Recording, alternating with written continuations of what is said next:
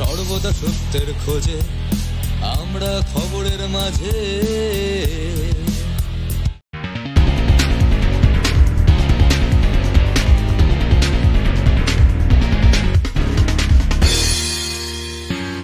নমস্কার, আপনাদের সঙ্গে আমি সৌগত। সকাল থেকে শুরু হয়েছে মনোনয়নপত্র জমা দেওয়ার কাজ। জেলা পঞ্চায়েত প্রশিক্ষণ দপ্তরে সমস্ত মিউনিসিপ্যালিটিগুলির মনোনয়নপত্র জমা দেওয়া হচ্ছে। কড়া নিরাপত্তা বেষ্টনীর মধ্যে মনোনয়নপত্র জমা নেওয়া হচ্ছে।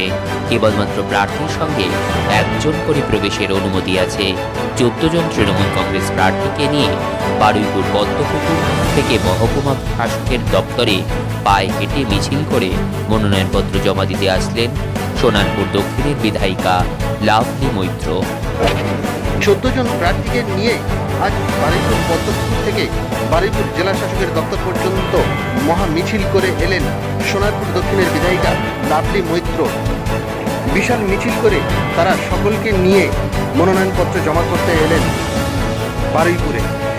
কি বললেন? তার মুখ থেকেই শুনে নেব আজকে চোদ্দ জন ক্যান্ডিডেট এসেছেন আমার সাথে? নমিনেশন ফাইল করতে এবং আজকে এই সুন্দর মুহূর্ত আমরা সবাই একসাথে ঈশ্বরের কাছে প্রার্থনা করি, ঈশ্বরের আশীর্বাদ নিয়ে। সমস্ত মানুষের আশীর্বাদ নিয়ে আজকে আমরা নমিনেশন ফাইল করতে এসেছি এবং আমাদের বিশ্বাস, আমাদের ভরসা, মানুষ আমাদের পাশে থাকবেন। ঈশ্বর আমাদের সমস্ত দলের মনোনীত সমস্ত প্রার্থীদের আশীর্বাদ দেবেন, মানুষ আশীর্বাদ দেবেন এবং আমরা আঠেরোটা আঠেরোটা ওয়ার্ডে তৃণমূল কংগ্রেসের সমস্ত প্রার্থীরা বিপুল ভোটে জয়ী হবে এবং দলকে শক্তিশালী